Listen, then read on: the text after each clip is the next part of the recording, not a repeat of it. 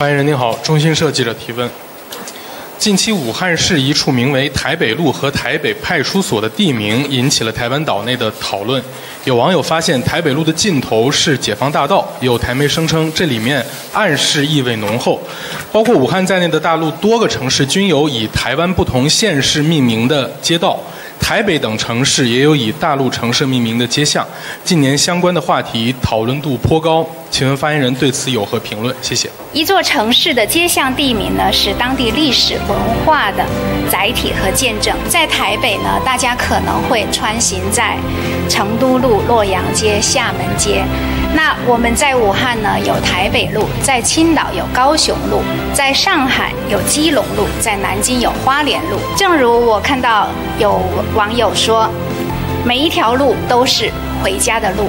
那每一个同名村呢，也都是两岸同根的缘。